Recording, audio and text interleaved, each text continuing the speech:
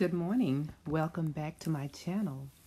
I'm excited that you stopped by. This is Dr. Tracy Summers. Again, we are preparing for marriage. We are praying for our husband today. Uh, the prayer point that uh, I want to pray is that um, our husbands have learned to give to God.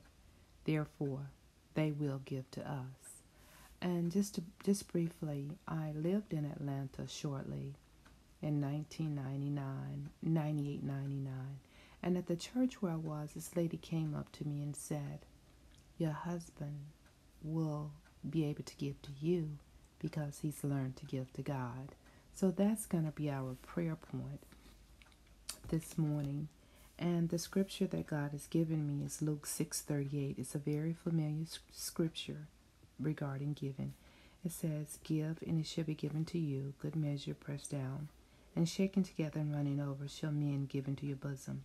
For with the same measure that ye meet, with withal it shall be measured to you again. I ask that uh, you seek the Lord pertaining to any message, but remember that every message is not for everyone. Uh, messages are, are ordained by God to specific people. So it's upon each of us to seek the Lord and receive wisdom from Him pertaining to any message. So let's go to the Lord in prayer regarding our husbands being able to give to God and also they will be able to give to us.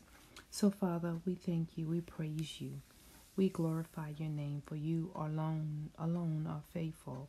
So, God, we thank you for the men that you've called us to. We thank you for the woman that you've called each man to in Jesus' name. Father God, we surrender ourselves completely and we love you. And because we love you, we're able to love another. So, God, we ask you this morning that you have already ordained that our husbands have learned to give to you. Thereby, they're able to give to us whether it's uh, finances or whether it's uh, security of some form or whether it's love, God, they're able to pour out their love and, and just let it ooze out upon us. They are givers, God. We thank you for that in Jesus' name. They are able to just uh, give to us, God, like we've never had before in our lives, God. And it will be uh, a profession and a confession of their love to us, Father God, in Jesus' name. We thank you that they've learned to give to you. Thereby, in Jesus' name, they will be able to give to us. So we thank you for that and we praise you for that and we give you glory for that in Jesus' mighty name. And we just believe that we receive that, God, that our husbands are able to give to us because they've learned to give to you in Jesus' name. We decree it and we declare it this morning in Jesus' name. Thank you uh, for stopping by.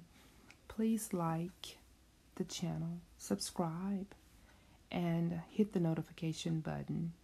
The purpose of my channel, basically, I do other things, but I want to help you prepare and be ready for that God ordained marriage.